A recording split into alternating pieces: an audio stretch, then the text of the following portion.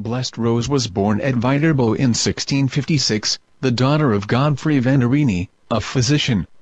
Upon the death of a young man who had been paying court to her, she entered the convent, but after a few months had to return home to look after her widowed mother.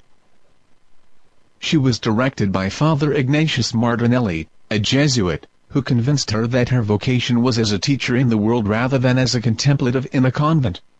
Whereupon in 1685, with two helpers, Rose opened a preschool for girls in Viterbo. It soon became a success. Blessed Rose had the gift of ready and persuasive speech, and a real ability to teach and to teach others to teach, and was not daunted by any difficulty when the service of God was in question.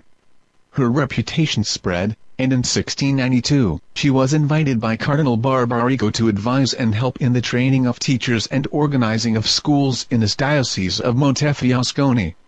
Here she was the mentor and friend of Lucy Filippini, who became foundress of an institute of Maestre Pie and was canonized in 1930.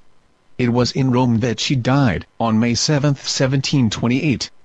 Her reputation of holiness was confirmed by miracles and in 1952, she was beatified. It was not until some time after her death that Blessed Rose's lay school teachers were organized as a religious congregation, they are found in America as well as in Italy, for the Venerini sisters have worked among Italian immigrants since early in the 20th century. Her feast day is May 7th.